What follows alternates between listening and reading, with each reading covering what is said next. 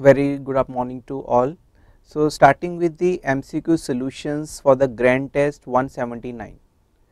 Now, coming to the 112th question for the pharmacology MCQs, as per the Fick's law of the diffusion, the passive flux of the molecules per unit time is inversely proportional to students as it is clearly written that it is the passive flux of molecules passive flux of molecules passive diffusion. Now passive diffusion we all know the, the drugs molecules they will move from the higher concentration to lower concentration gradient. So it the, the molecule movement will be directly proportional. So first option is ruled out. Now second option the cross sectional area of diffusion path. Now we I think we have always learned from the 12th class that more the surface area more will be the diffusion so, therefore, the second option will also be ruled out. Now, the third option thickness, the thickness is always inversely proportional to a diffusion. More the uh, thickness, lesser will be the diffusion of the molecular drug to that thickness. So, if we do not know even what is the Fick's law of diffusion, we can simply mark this answer the thickness and fourth option is permeability coefficient. Permeability coefficient it depends upon the drug mobility, the mo molecules movement through the membrane and that depends upon the first of all it depends upon the lipid water partition coefficient.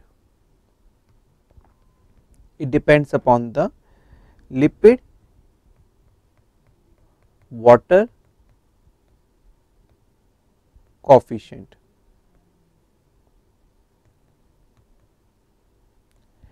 and that depends upon the lipid solubility of the drug or molecule.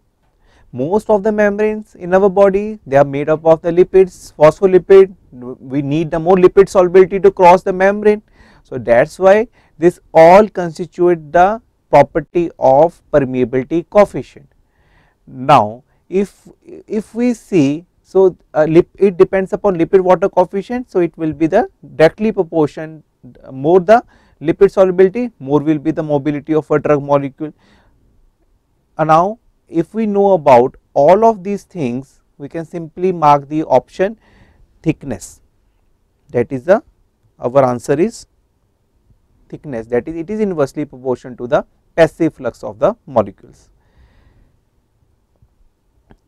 Now, um, let us elaborate more on the various transport mechanisms, so that if any question asked related to this you can answer that also. Now, first of all let us clear with the what is the Fick's law of diffusion. Fick's law of diffusion is directly proportional to the concentration gradient, directly proportional to the surface area, directly proportional to the permeability coefficient, directly proportional to the concentration gradient, inversely proportional to the it is inversely proportional to the thickness Uh, now clearing with this Fick's of diffusion let us move to the various transport mechanisms. Transport mechanisms can be passive transport or the active transport. There are three mechanisms for the passive transport that is the simple diffusion, facilitated diffusion, paracellular transport. Now paracellular transport is the new to some students, paracellular movement is usually mediated through the intracellular gap junctions in the usually in the vascular compartment. We uh, concern with the vascular compartment mostly like and in the CNS capillaries that like for example the there are tight gap junctions in the endothelial cells. So there is a less movement of the drug molecules to that gap junctions. Whereas in the rest of the body the there is a slightly gap the more gap in the intracellular junctions if that in that case that there will be a more flux of the passive flux of the molecules through that gap junctions. Now, most of the students will know about simple diffusion and facilitated diffusion.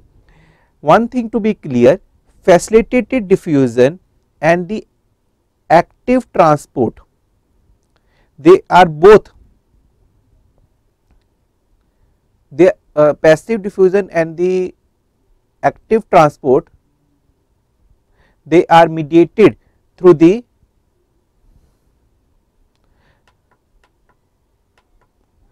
they are mediated to the and uh, one thing to note down the facilitated diffusion and the active transport they both involve some of the carrier. Active transport can be uh, primary transport or the secondary transport. Primary transport they utilizes the, the both utilizes the ATP energy.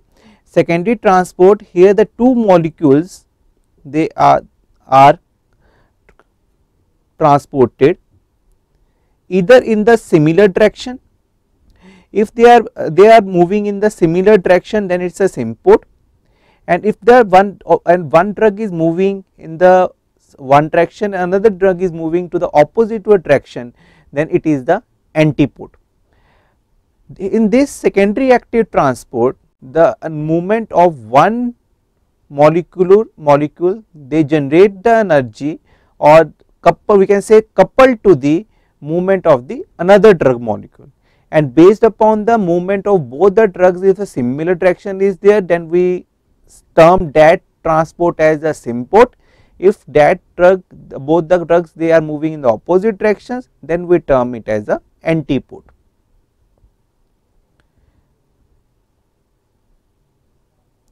Now one more important example which can be asked in the very uh, good um, like MCQs of the PGI or AIIMS facilitated diffusion one example is very important that is the OCT one example. OCT1 is organic cation transporter.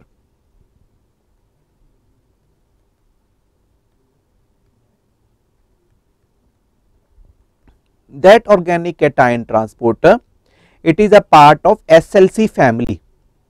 SLC family it can be uh, it example of the SLC family can be from the facilitated diffusion or mostly from the active transport. But one example which I want to discuss from this family the SLC family that is the OCT organic cation transporter OCT1. This transporter is responsible for the movement of thiamine and metformin.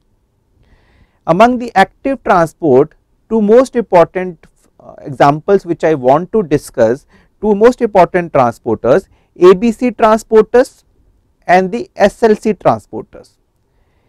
ABC transporters they are the ATP binding cassettes that is the ATP binding cassettes.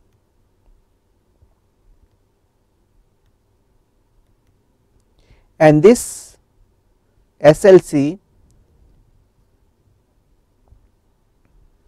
this SLC is the soluble carrier transporters. So, two most important examples of the active transport is the soluble carrier transporters and the ABC transporters. ABC transporters are the ATP binding cassette transporters which include the three most important examples that is a P glycoprotein, multi drug resistance protein and the BCRP breast cancer resistance uh, protein. So, uh, so uh, it is a P glycoprotein which is very important P glycoprotein it leads to the expulsion of the various toxic metabolites from the body. It, expel, it expels out the oxygen radicals, toxins from the cells, but it can create a problem when we are going to administer the anti-cancer treatment to the patients because in that case it leads to the expulsion of anti-cancer drugs from the cells also leading to a therapeutic failure of anti-cancer drugs. In that case the P glycoproteins are not helpful, but overall in the body they are helpful as they are protecting the cells from the various toxins, toxic metabolites. In the case of administration of anti-cancer drug therapy and it leads to a therapeutic failure due to P glycoprotein, we can administer along with some various P glycoprotein inhibitors and one of the most important example for the P glycoprotein inhibitor is verapamil. We can administer the anti-cancer treatment with the verapamil to counter the expulsion of P glycoprotein mediated expulsion of anti-cancer drugs from these cells. Similarly, SLC family one of the example we already did in the facilitated diffusion. And most of the LC trans SLC transporters they are uh, they uses the active transport for the transport mechanism. And uh, examples are the 5-HT transporter, serotonin transporter and the dopamine transporter most important examples. Serotonin and dopamine transporter.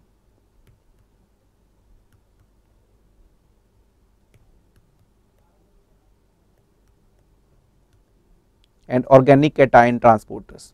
And one of the organic cation transporters that is OCT1 we already did in the we already did in the facilitated diffusion. Whatever we did till now let us do that transport mechanisms just summarizing. So, passive transport it uh, involves a paracellular transport or can be diffusion or the facilitated diffusion. In active transport it can be the primary or secondary. In the primary most of the examples are from the ABC transporters and most important examples among the ABC transporters is P glycoprotein. And among the soluble carrier transporter the uh, they are mostly antiports and, and they are mostly they are from the they uh, utilize the secondary uh, transport mechanism for the active transport secondary active transport.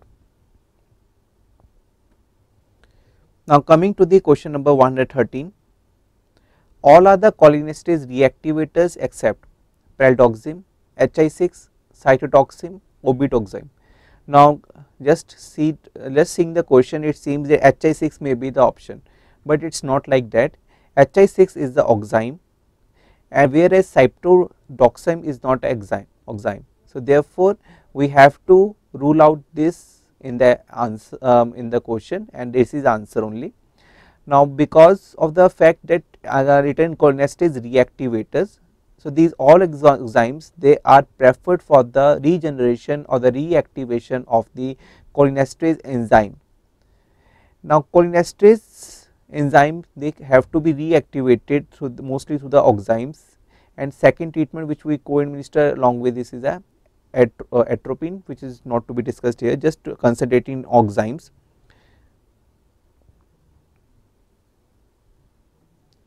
pralidoxime, obidoxime and HI6. These are three quaternary pyridinium aldoxime reactivators. The reason why I separate these three from the uh, next oxime diacetyl monoxime because diacetyl monoxime they can cross the blood brain barrier whereas it can so it can regenerate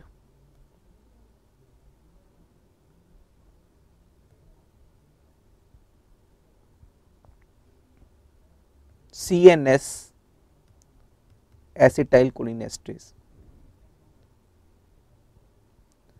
whereas these three they can't regenerate the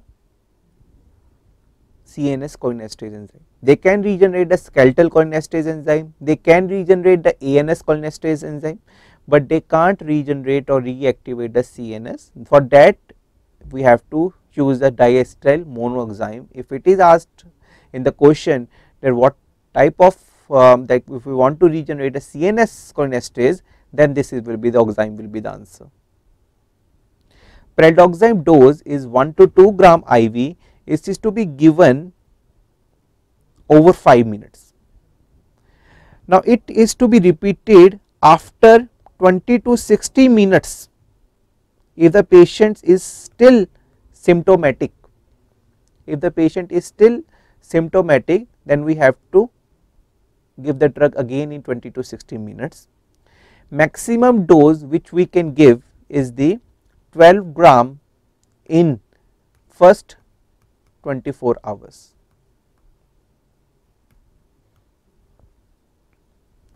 Now, how these enzymes they can regenerate the cholinesterase enzyme, this is the mechanism.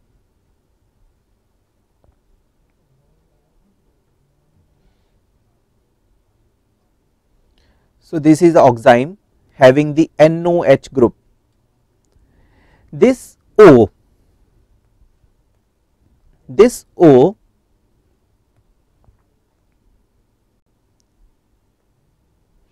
with the phosphorus group they have the more affinity than the the binding of uh, this O to the esteratic site of the acetylcholinesterase.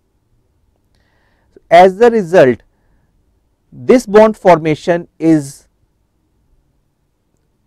more powerful as compared to this bond between the organophosphorus and the enzyme and the it will further lead to bond dissolution here and bond formation here and this whole group along with the oxime will be carried out away.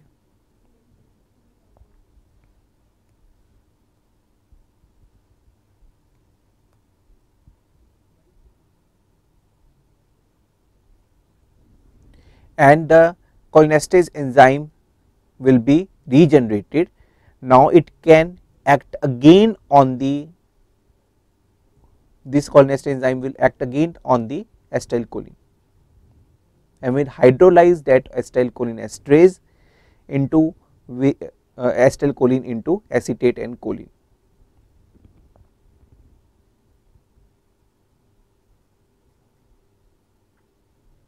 So, clear with this question number 113. So, the answer to that question will be cytotoxin because HI6 is a oxide.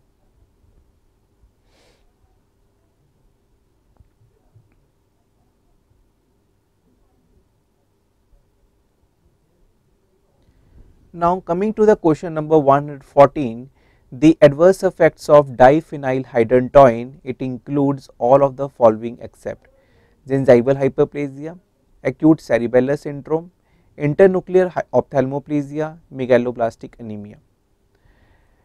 The reason this question seems to be very much difficult in hearing this term diphenylhydantoin. It is nothing but it is a phenytoin, it is a phenytoin.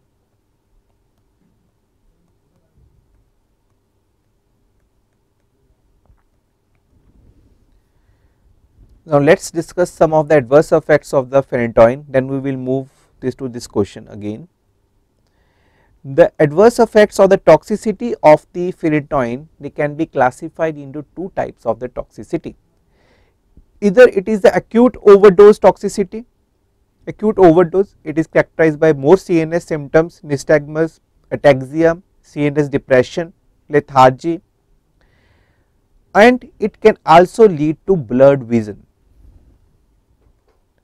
whereas if the patient is uh, uh, taking the phenytoin from a long period of a time because epileptic patients they have to be um, they have to take the phenytoin from a long period of time after a chronic period they can have some of the EDS or toxicity because phenytoin is also having the narrow therapeutic index the transition from the first zero order kinetics to the uh, from the first order kinetics to zero order kinetics can occur with the phenytoin. Chronic toxicity it involves gingival hyperplasia. Gingival hyperplasia because phenytoin inhibits the collagenase enzyme. The phenytoin they inhibits the collagenase enzyme. That is why it can lead to gingival hyperplasia.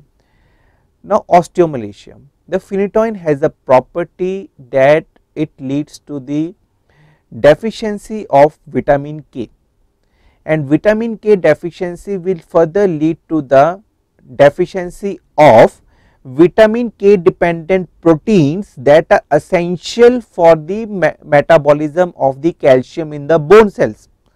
So, as a result osteomalacia or the rickets in the uh, osteomalacia in adults or rickets in the children can occur. Therefore, the osteomalacia of the phenytoin is sometimes not able to respond to vitamin D only therapy, not able to respond to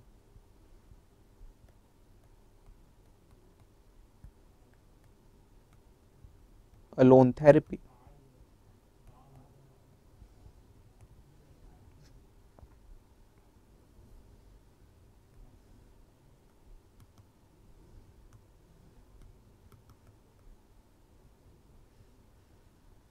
Now coming to the megaloblastic anemia. The megaloblastic anemia because phenytoin is the inducible enzyme. It induces all the reactions mostly hydro hydroxylating enzymes, hydroxylation reactions and as a result of the hydroxylation reactions there is a more utilization of folate in that reactions and eh, the folate deficiency will lead to megaloblastic anemia. Already discussed it can cause vitamin K deficiency. Vitamin K deficiency if the mother is uh, taking the phenytoin then it can lead to hemorrhagic disease of the newborn with the, uh, um, the phenytoin intake in the pregnancy. And uh, hirsutism and the acne is most um, uh, um, common ADR with the chronic use of the, the phenytoin therapy. Endocrinological ADRs with the phenytoin it includes a hyperglycemia and decrease in the antidiuretic hormone release. And as with the all of most of the anti-epileptic drugs they causes the hypersensitivity reactions like the morbilliform rash, Stevens-Johnson syndrome, toxic epidermal necrolysis so, most of the skin reactions they can occur manifest as a hypersensitivity reactions. There one more hypersensitivity reactions which can occur with the phenytoin is hepatic necrosis. The third most common hypersensitivity reaction which can occur with the phenytoin is the bone marrow depression like state. The patient can have the agranulocytosis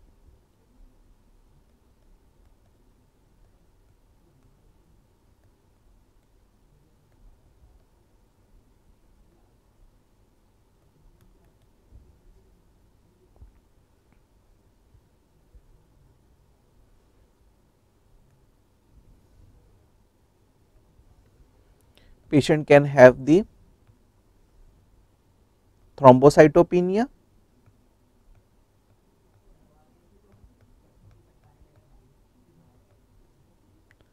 or the red cell aplasia.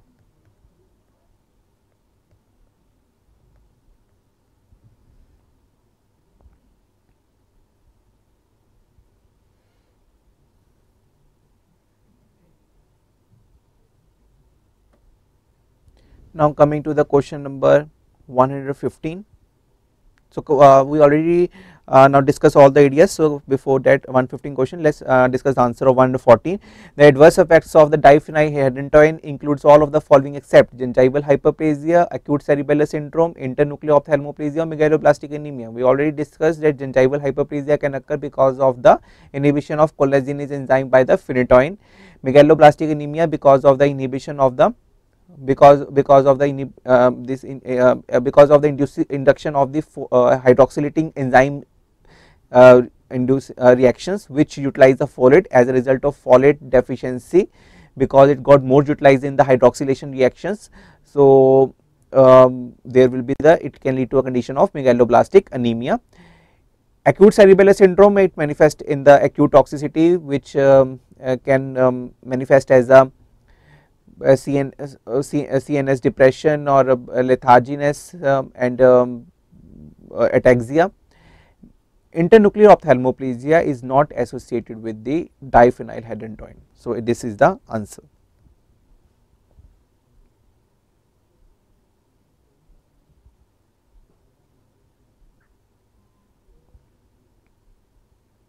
Question number 115 all of the following vasodilators they act through the increase in cyclic GMP levels except nesritide, sildenafil, isosorbide mononitrate or the amlodipine. Now this nesritide, sildenafil, isosorbide dinitrate they all leads to the increase in cyclic GMP levels and further leads to vasodilatation.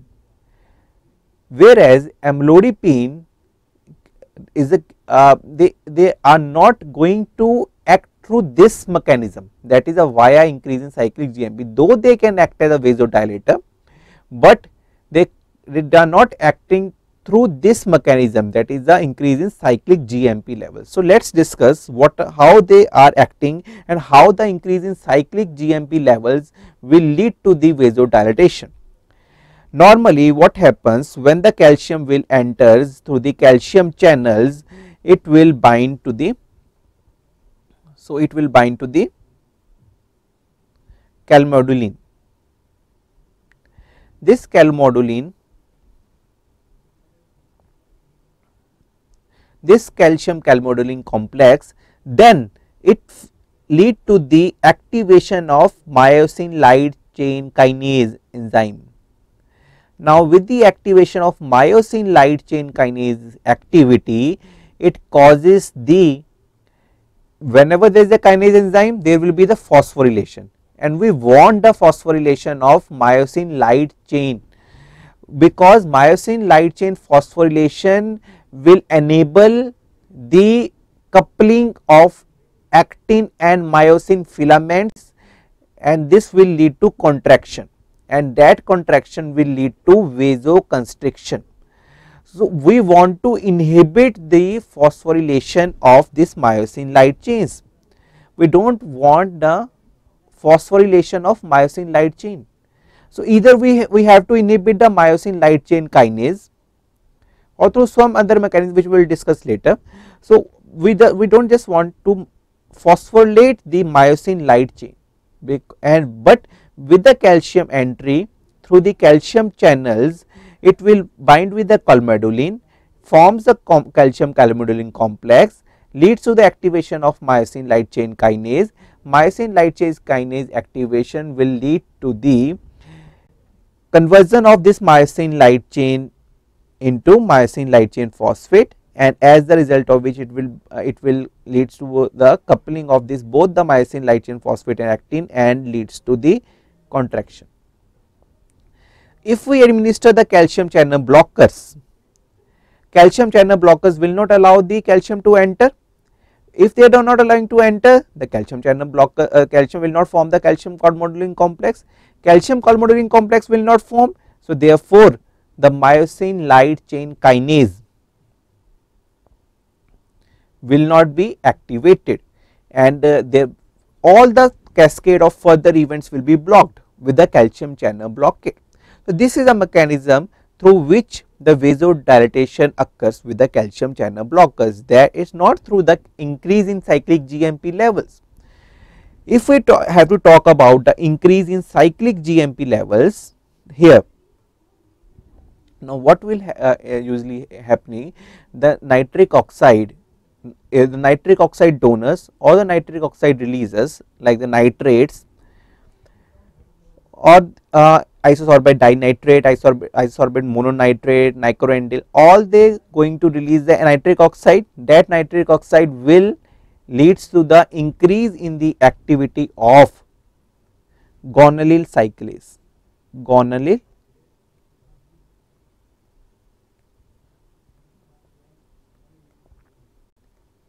cyclase. Now, this guanylyl cyclase activity will leads to the increase in the levels of cyclic GMP because this guanylyl cyclic will convert GTP into cyclic GMP.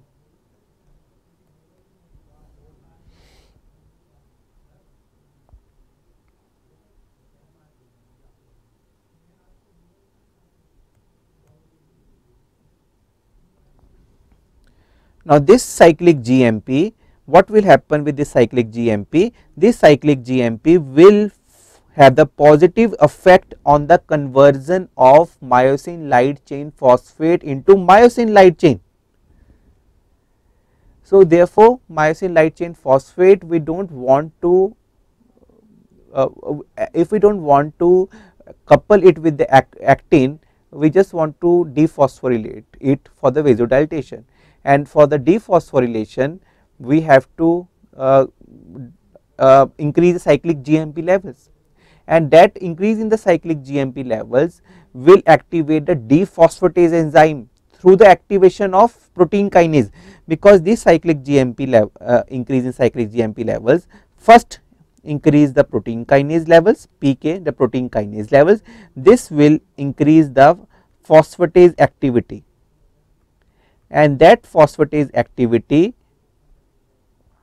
this phosphatase activity will lead to dephosphorylation of myosin light chain phosphate into myosin light chain as a result of which relaxation of the vascular smooth muscle cells will occur.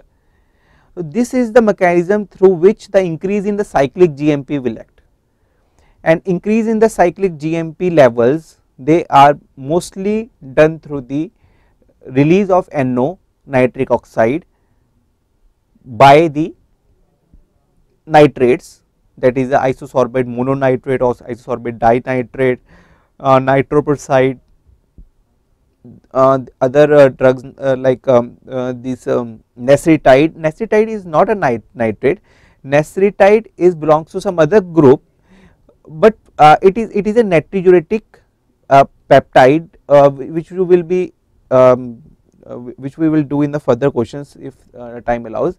So, this nesritide is also having the activity of increase the cyclic GMP levels as a result of which nesritide it is a natriuretic peptide actually and this natriuretic peptide we increase the levels of natriuretic peptide in the body by administration of the neprilysin inhibitors. Neprilysin is responsible for the metabolism of these natriuretic peptides or we directly give the uh, this uh, natriuretic peptides. So, this nesritide is having the property of increase in the cyclic GMP levels. So, as a result of which the myosin light chain phosphate will be uh, converted into myosin light chain and there will be increase in the vascular smooth muscle relaxation and whenever the relaxation will be there vasodilatation will occur. Now this hope so this will clear all of your queries regarding this and answer will be now be uh, nitrate amlodipine. Now sildenafil yes sildenafil how the sildenafil they are uh, acting through the increase in cycle how they increase cyclic GMP levels they are not increased via the nitric oxide or via the guanylate cyclase pathway. This uh, cyclic GMP is further metabolized and the and this cyclic GMP metabolization is stopped by or inhibited by sildenafil. One thing is this and this is the phosphodiesterase 5 inhibitor sildenafil. All of these mechanisms will lead to the inhibition of metabolism of cyclic GMP levels as a result of which the cyclic GMP levels will increase in the body and there will be the all the further events will be same as that of the other drugs which we have studied. Like uh, there will be the uh, increase in the activity of protein kinase which will lead to active increase in the activation of dephos uh, dephosphate uh, that will lead to the increase in the activation of, of phosphatases. And uh, which will lead to dephosphorylation of myosin light chain phosphate in converted into myosin light chain and there will be the relaxation.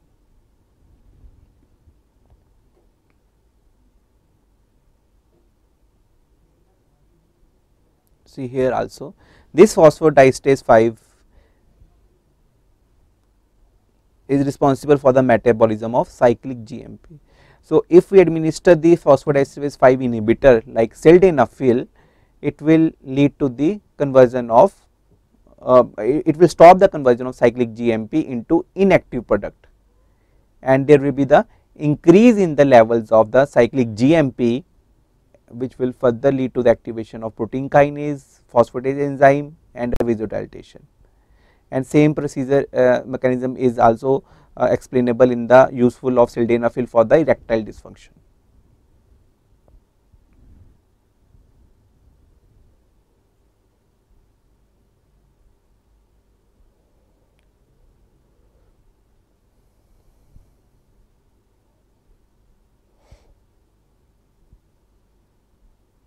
Now coming to question number 116, all drugs are correctly matched with the adverse drug reaction or toxicity except thioridazine cataract, pimozide, the inversion of T wave on ECG, clozapine reversible agranulocytosis, methimazole agranulocytosis. So two options they are showing the agranulocytosis. So let us discuss first the list of the various drugs causing the agranulocytosis. The list of the drugs which causing the agranulocytosis are this so many drugs mirtazapine, clozapine,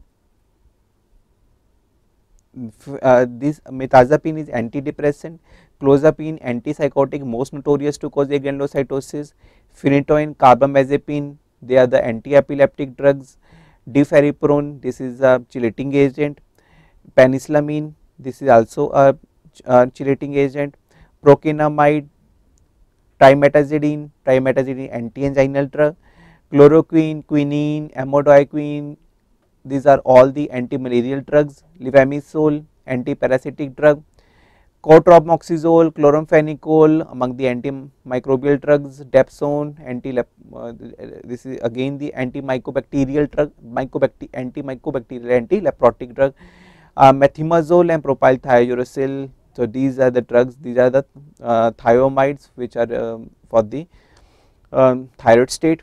So, these all drugs they are causing the agranulocytosis. So, therefore, clozapine causes reversible granulocytosis yes, methimazole causes agranulocytosis yes. Now, thioridazine and pimozide uh, let us discuss about this. These are the antipsychotics uh, not this uh, that we uh, this um, uh, thioridazine and pimozide.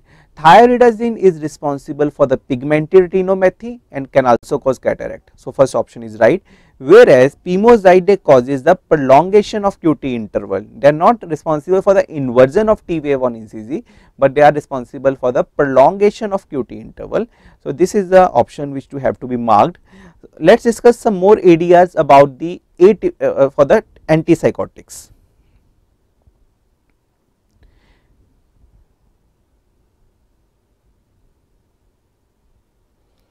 They can cause the acute dystonia which can occur within 1 to 5 days. Here the spasm of the muscles of the face of the tongue back, uh, back and neck can occur and anti-Parkinsonian agents are the drug of choice for this type of the condition. Akathisia uh, the 5 to 60 days it can occur. It is mostly characterized by the restlessness and uh, it is in this case if we want to treat it either we have to reduce the dose or the propranolol and clonazepam both are effective. Third most important ADR with the antipsychotics these are most common ADRs with the typical antipsychotics.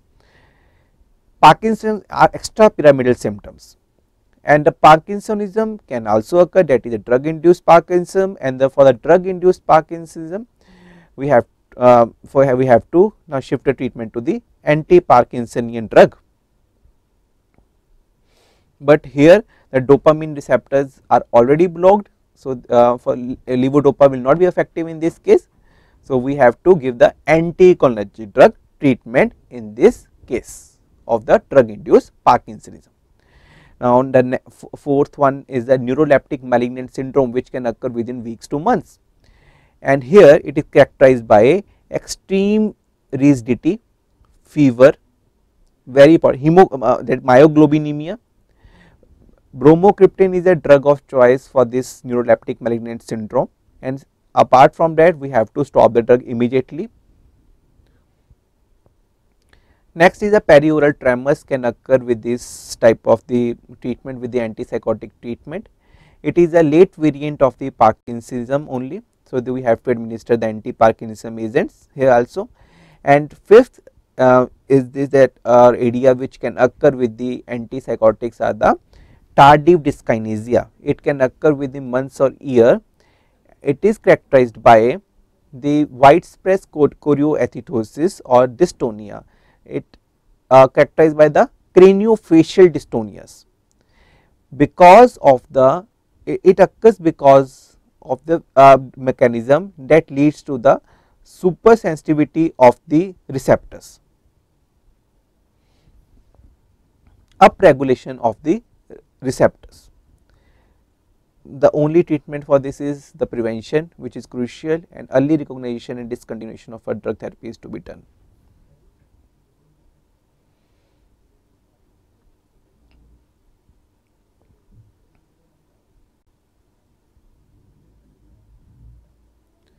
Now, uh, specific areas to particular antipsychotics like pimozide can cause the prolongation of QT interval, clozapine they causes the agranulocytosis, thiamides they can cause the agranulocytosis and thioridazine they causes the pigmented retinopathy or the cataract.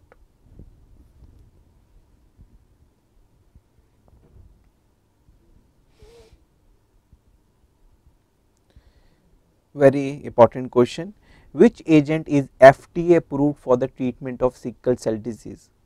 Hydroxyurea, cyclophosphamide, cisplatin and a busulfan. All are the these uh, can be useful in the anti-neoplastic agents. Among these hydroxyurea is the most important uh, drug which can be useful in the sickle cell crisis. They can prevent the painful sickle cell crisis, they can uh, they can decrease the painful episodes and further decrease the frequency of the blood transfusions required in such cases.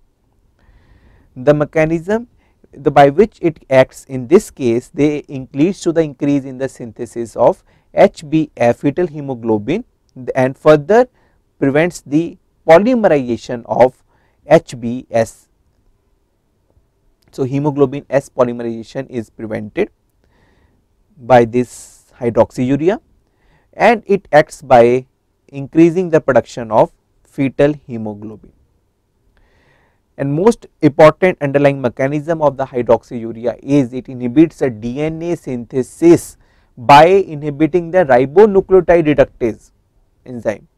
So, uh, this is the most important that it inhibits the DNA synthesis via the inhibition of ribonucleotide reductase enzyme and arrest the cells in the S phase.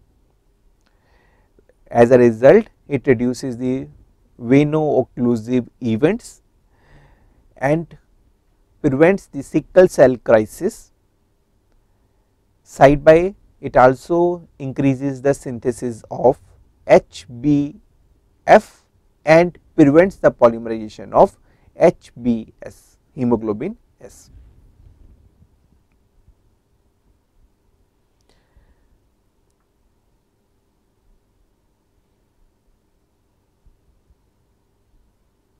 Question number 118 a drug holiday may improve the responsiveness to nitrates, levodopa, bisphosphonates all of the above. The drug holiday in this drug holiday is a mechanism in which we stop the drug for some period of time. So that that uh, so it, so it, it has some benefit in some cases. It can reduce a tolerance like in night uh, uh, to, uh, to it can uh, reduce the development of a tolerance to some drugs like nitrates. It can decrease the ADS of some drugs like in the case of levodopa and and bisphosphonates so, therefore, the drug holiday is recommended by some of the expert panels or some of the guidelines so as to prevent some of the adverse event or the adverse effect or the tolerance to development of tolerance in some cases. Like in the uh, in the case of levodopa, the drug holiday for the 3 to 21 days is, reco uh, is recommended to decrease the ADRs of the levodopa and it also in some cases it decreases the on and off like uh, episodes with the levodopa. So, it will help in that case. bisphosphonates it is seen that it leads to the osteonecrosis and osteonecrosis of jaw. Further it, it can lead to fractures and over suppressing the bone turnover. Over suppression of a bone uh, turnover to prevent that, to prevent the occurrence of fractures in the coming time as seen with the other patients, the drug holiday is recommended in the case with the bisphosphonates. And third, to prevent the tolerance to a nitrate therapy, it is seen that a tolerance is developed to the nitrate therapy in the in the chronic administration. So, in that case the drug holiday is recommended. Coming to the question number 119, which of the following phosphodiesterase inhibitor is approved for the COPD? Roflumilast, sildenafil, cilostazol, pimobendan. The here the answer is roflum, roflumilast. It is the FDA approved drug for the treatment of COPD. Now, chronic obstructive pulmonary disease. What is the mechanism? How it acts? Roflumilast, it uh, like in most of the cases, uh, like if, if, we are talking about this, the, for roflumilast is the phosphodiesterase 4 inhibitor. It is the phosphodiesterase 4 inhibitor. In that case, we, we can think like uh, in the case of theophylline also, they, they, they, increases the uh, bronchial relaxations. So, decreases the bronchial uh, causes the bronchodilation, but roflumilast they are having the most of the action mediated through its anti-inflammation, anti-inflammatory action because the roflumilast is a PDE4 inhibitor and PDE4 is most commonly abundant in the mast cells, in the eosinophils and in some of the inflammatory releasing mediators are acting through this phosphodiesterase 4 as a result of which administration of phosphodiesterase 4 inhibitor roflumilast will mediate the action of the uh, in the COPD through the anti-inflammatory anti-inflammatory action rather than the bronchodilation. It is a phosphodiesterase inhibitor we already did that it has the most of the anti-inflammatory action than the bronchodilation. It is not useful for the acute bronchospasm because uh, it, because here the main action is anti-inflammatory not a bronchodilation. Though in the in the long term it reduces the risk of the exacerbations of the further episodes uh, COPD exacerbations in the patients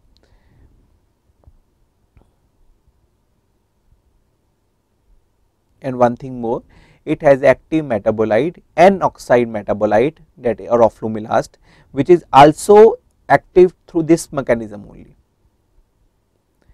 Various ADRs with this uh, roflumilast the most important is it increases the suicidal tendencies, uh, it increases suicidal thoughts. It also lead to weight loss, it also leads to dizziness and decrease in the appetite just to uh, just to read these areas it can um, uh, can be asked but the most important is mediate roflumilast mediate its action through the anti-inflammatory uh, its most important action is anti-inflammatory rather than the bronchodilation.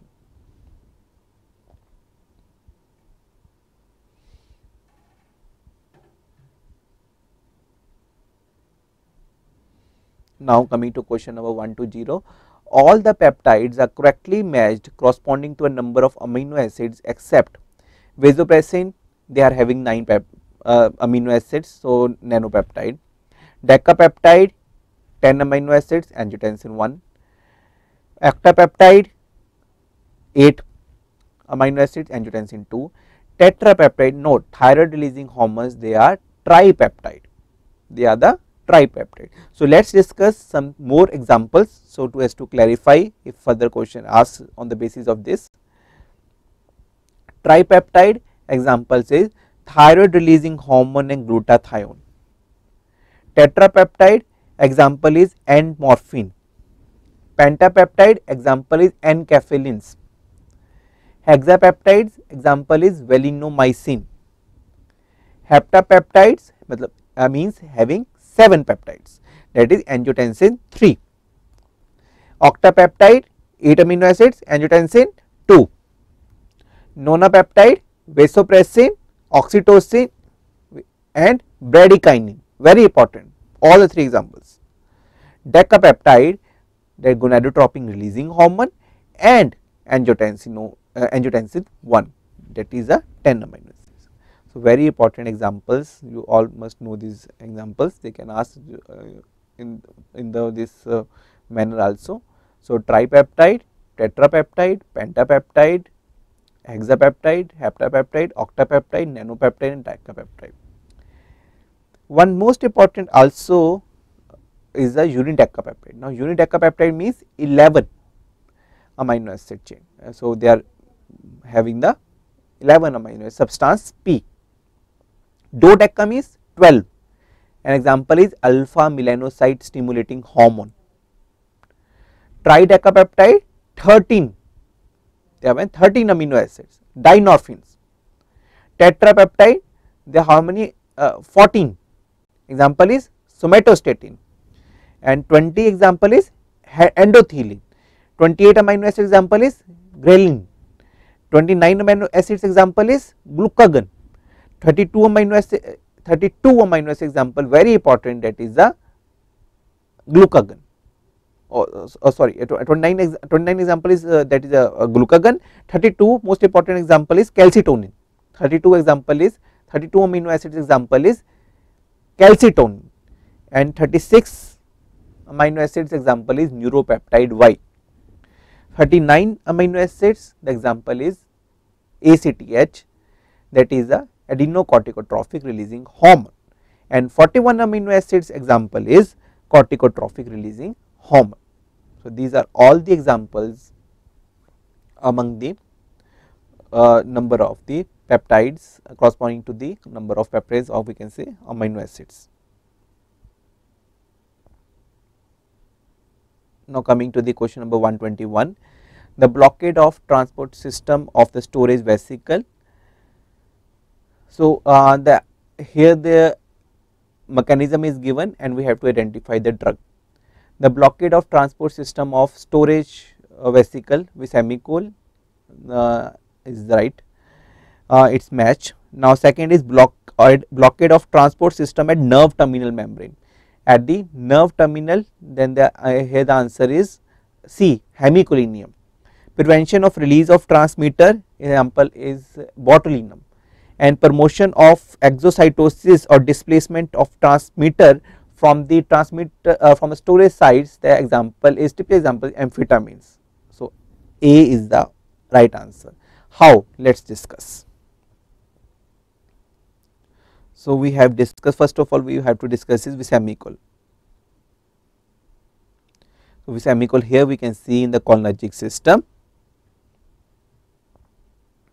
they inhibit the, the see here. The vesamicol inhibits the vesicular acetylcholine transferase transporter uh, that they, they are inhibiting this as a result of which acetylcholine will not be transferred into the synaptic vesicle. And therefore acetylcholine concentration in the synaptic vesicle will fall down and there will be no release. When the synaptic vesicle will fuse with the presynaptic membrane and endocytosis will take place there is nothing in the synaptic vesicle to be released in the uh, synaptic term in the synaptic space. So, semicol acts here. Second we have to discuss is the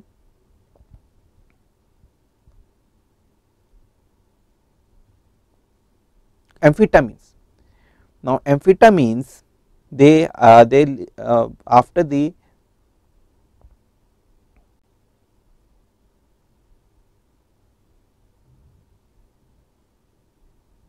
amphetamines through the reverse transport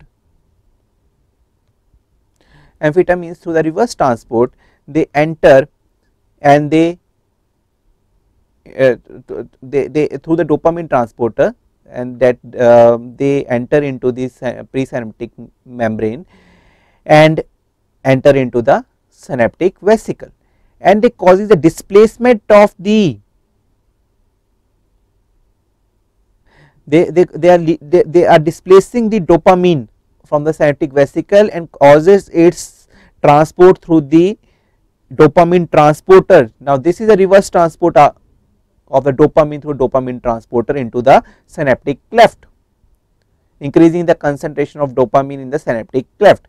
So, the entering amphetamine entering into the presynaptic uh, from the uh, entering into presynaptic membrane enters into a synaptic vesicle displacing the dopamine from that and causes it to release in the synaptic cleft through the reverse transport as a result of which the dopamine transport will increase uh, the, uh, the dopamine concentration will increase in the synaptic cleft.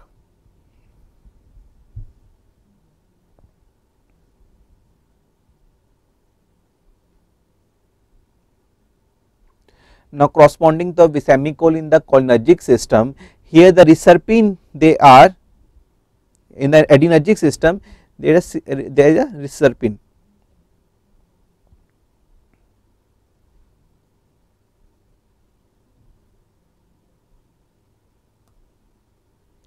There is a reserpine. So, reserpine they, they are blocking the they are reserpine they are blocking the transport of dopamine into the synaptic vesicle through the inhibit through the inhibition of transporter dopamine uh, vesicular monoamine transporter VMAT as a result of which dopamine will not be able to transport into synaptic vesicle and the further concentration will decrease in the dopamine. So, corresponding to the semicole which we have studied in the cholinergic system. Similarly,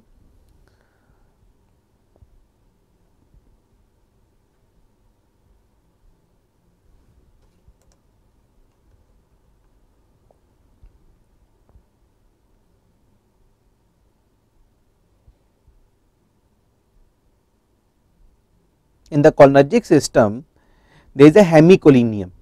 The hemicholinium what is the hemicholinium is doing let us see the blockade of transport system at nerve terminal membrane. So, here hemicholinium they are acting on here and they prevents the entry of choline into the presynaptic space.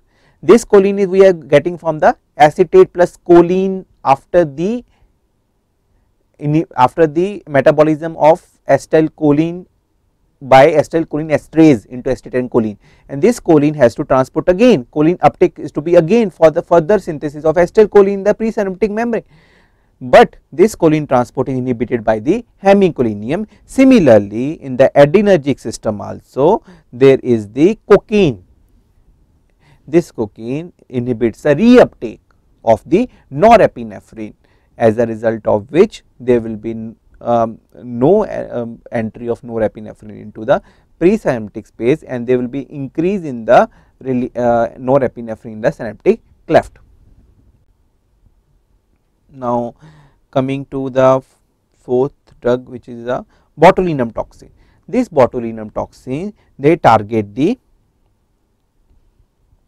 the binding of synaptic vesicles to the presynaptic space via its action on the synapt on the synaptobrevin.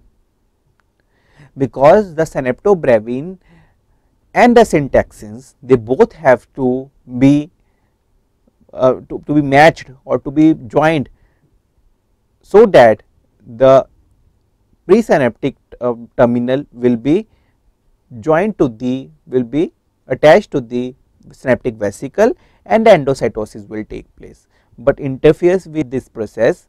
So, botulinum toxin there will be there will be no release of the any neurotransmitter from the synaptic vesicle in the synaptic cleft.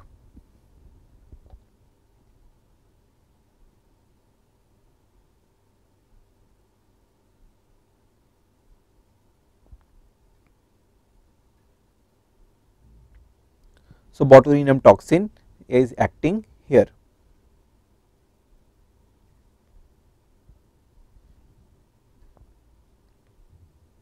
and prevents the release of the neurotransmitters in the synaptic cleft.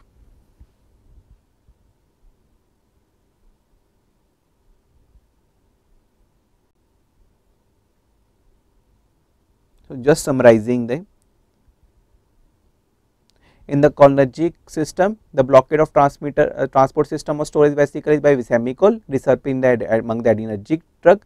Prevention of release of transmitter botulinum toxin among the this uh, cholinergic system among the adrenergic system bretylium and the gonadal examples. Blockade of the transport system at the nerve terminal membrane hemicholinium uh, is the example among cholinergic drug and cocaine and imipramine are reuptake inhibitors among the adrenergic drugs. And uh, this latrotoxin and uh, is the most important example among the cholinergic system for the promotion of the exotoxins or the displacement of transmitter from the storage vesicles whereas corresponding to an adrenergic drugs example is amphetamines. And enzymatic breakdown example is acetylcholinesterase inhibitors among the cholinergic system and MAO inhibitors like the selegiline, like the pargyline and uh, uh, COMT inhibitors like entacapone and tolcapone among the adrenergic system. Now, a most important which you have to remember is this that is a botulinum toxin that it prevents the release of transport uh, transmitter uh, among the colony system is this example among the adrenergic is the bretylium and gonadal. Now, different type of the question which can be asked uh, like in the pediatric uh, we can say pediatric or pharmacology mixed type question like which of the formulas are used to calculate a dose on the basis of weight in the pediatric age group. So, there, there is a dose modification is to be made in the pediatric age group. So, uh, there are some formulas like uh, the answer is Clark's formula here uh, which uses the weight to identify the dose to be required for the pediatric age group. Now, which how like Clark's formula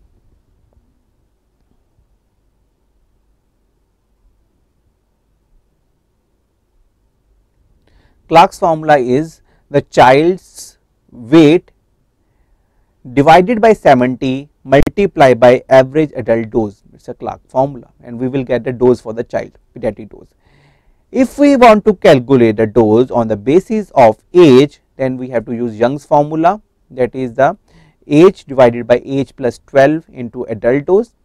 For the Dilling's formula we have to uh, calculate a pediatric dose age divided by 20 multiplied by the adult dose and the Fried's uh, formula which is for the infant dose calculation that is the age is to be in it is in the months divided by 150 multiplied by the adult dose and uh, Dilling's formula is for the 4 to 20 years of age and Young's formula is for the 3 to 12 years of age.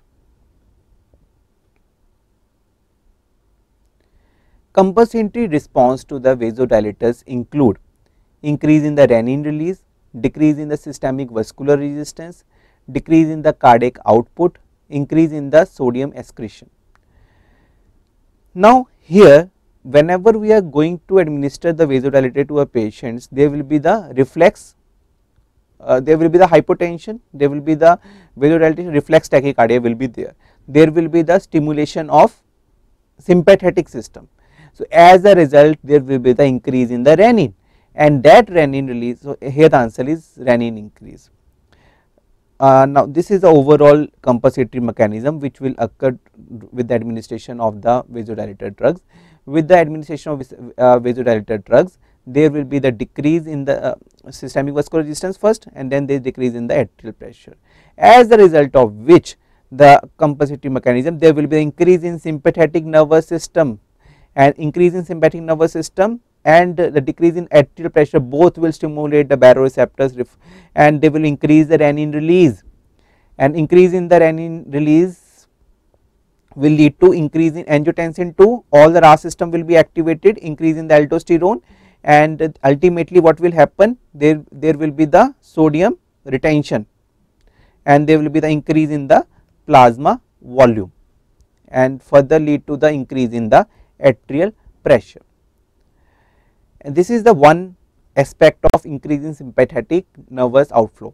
Another processes which can occur compensatory mechanism which can occur through the increase in the sympathetic nervous outflow is increase in the systemic vascular resistance, increase in the heart rate, increase in the cardiac contractility or decrease in the venous capacitance.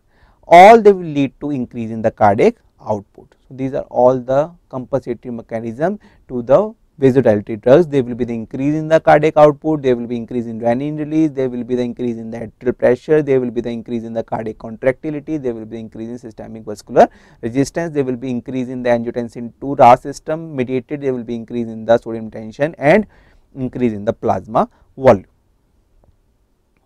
Now coming to the question number 124, false about the aminoglycosides half life prolonged in the renal failure patients? Yes because they are most uh, uh, uh, they, they are excreted to the glomérulofiltration most of the aminoglycosides they are eliminated to the glomérulofiltration as a result of which in the renal failure patients the half life got prolonged it there are two type of the uh, uh, killing types concentration dependent killing and time dependent killing. The concentration dependent killing killing it depicts that how much the concentration is above the MIC that is a minimal inhibitory concentration. How much concentration of the antimicrobial is um, above the MIC that determines the killing power of the antimicrobial. Time dependent killing is how from how long it is above the MIC that is a time dependent killing, but aminoglycosides they exhibit the concentration dependent killing as a result of which this B option is the answer that it is a false it is not exhibiting the time dependent killing it exhibits the it exhibits the concentration dependent killing. Now inflammation increases the penetration of aminoglycosides right. It is very poorly penetrated into a CNS, but whenever there is a meningitis, it is very much um, known to enter the CNS, very much known to ent, um, enter the peritoneal spaces in a peritonitis. So, whenever there, there, there is inflammation, its entry got increases and uh, this is the advantage to us. There is a uh, it can cause a loss of the perception of high frequency sounds followed by the low frequency sound. This is the typical we can say um, um uh, the future of the feature of the aminoglycoside toxicity and uh, amino let us discuss most about uh, more about this um, toxicity. It can exhibit the concentration dependent killing. And in adverse drug reaction let us discuss about this it, it can cause ototoxicity among the ototoxicity kanamycin amikacin and neomycin are more notorious to cause ototoxicity whereas among the vestibular toxicity streptomycin and gentamicin they are most notorious to cause vestibular toxicity. And we all know that it is a uh, it causes the neuromuscular blockade. So therefore it, it can potentiate a neuromuscular blockade if administered with any of the neuromuscular blocking agent. So, this is to be kept kept in mind. More, moreover, we all know that this is a nephrotoxic and uh, therefore, be cautious when to be used along with the nephrotoxic drugs like amphotericin B, cyclosporine. So, these are all the nephrotoxic drugs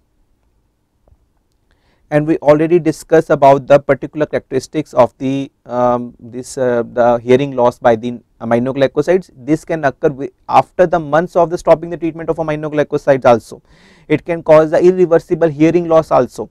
It causes the loss of perception of high sounds frequ uh, uh, frequency range sounds followed by the loss of the low uh, followed by the low frequency sounds. So loss of perception of the high frequencies uh, range sounds first then the low frequency sounds it accumulates in the endolymph, it accumulates in the perilymph. So, its T half of the aortic fluid is much more as compared to other part, uh, T half of the in the kidney is also much more, it resides in there.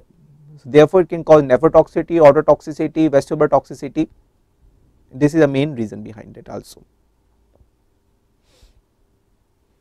So, uh, let us discuss one thing more about these aminoglycosides that it uh, ex exhibits a concentration dependent killing. One more thing it exhibits the po post antibiotic effect that the persistence of the antibacterial effect of the aminoglycosides even after the concentration falls below MIC minimal inhibitory concentration.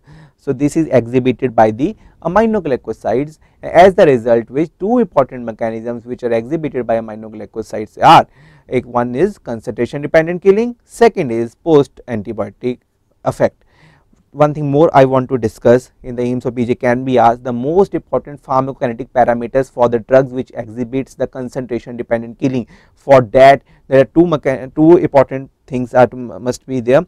The ratio of the Cmax over the MIC usually is more than or equal to 8 that is the Cmax is the maximum concentration achieved by the drug divided by MIC must be greater than or equal to 8 and 24 hour area under the curve divided by the minimal inhibitory concentration is usually greater than or equal to 100. These values you have to remember this can be asked and these are the most important characteristic parameters for the, the drugs which exhibit the concentration dependent killing.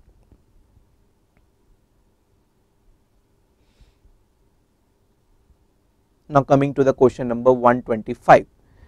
The drugs indicated in the orthostatic hypotension includes midodrine, droxidopa, ephedrine, all of the above. The exam answer is all of the above. Let us discuss how.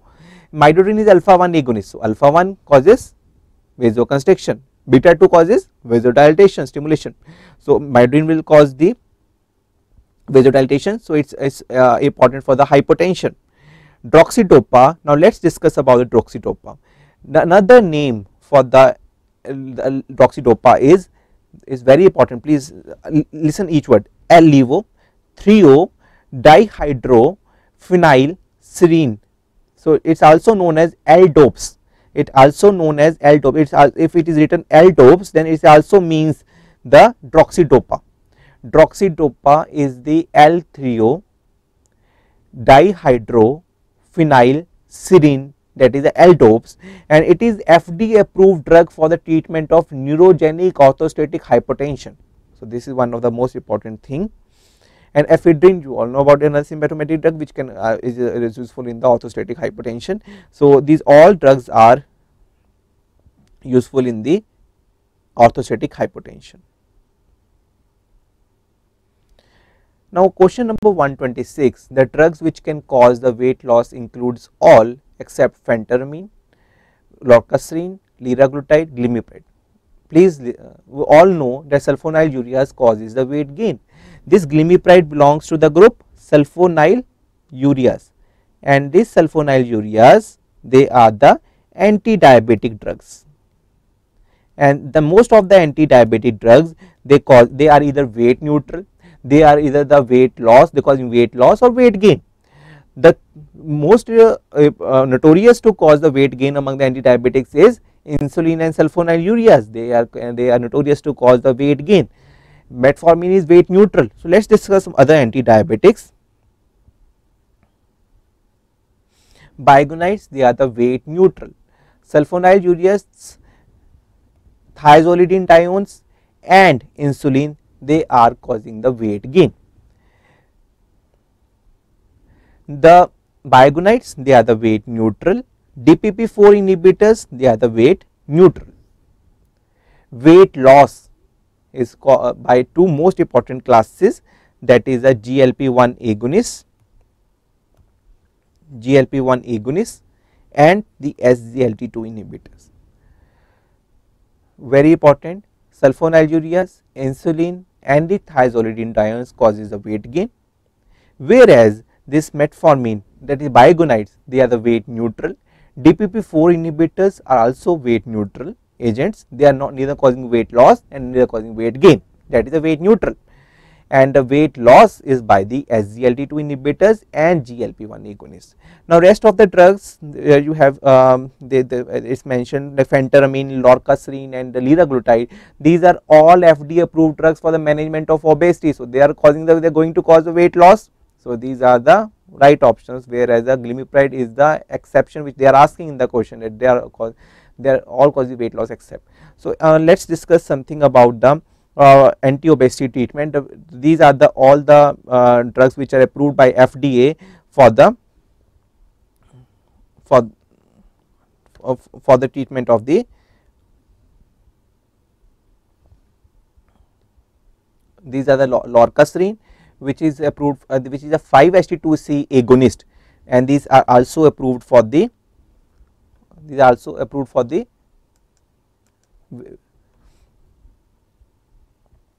uh, for the weight uh, for the obesity treatment. Now naltrexone and a bupropion combination is another combination which is approved for the uh, for the treatment of obesity. Phentermine and topiramate, phentermine adrenergic, phentermine they are acting on the adrenergic system and uh, topiramate they are um, they are modulating the GABA receptors. So, they are the main uh, this also approved for the management of uh, for the obesity combination of phentermine and topiramate, combination of naltrexone and bupropion, liraglutide, liraglutide is approved for both the diabetes mellitus as well as for the for the obesity.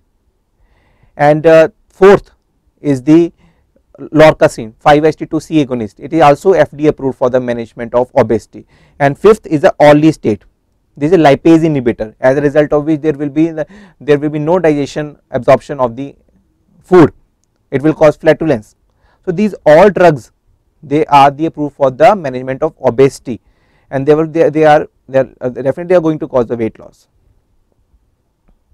And uh, centrally acting drugs are most of the um, uh, anti-obesity drugs they are centrally acting, but uh, this uh, orlistat is the peripherally acting because they are inhibiting the lipase enzyme so, if the question is what is a which is FDA approved drug or which is a drug which is approved and it peripherally acting then answer will be orlistat. Rest of the drugs are the centrally acting which are FDA approved mostly. Drug therapy for the treatment of H. pylori it includes all except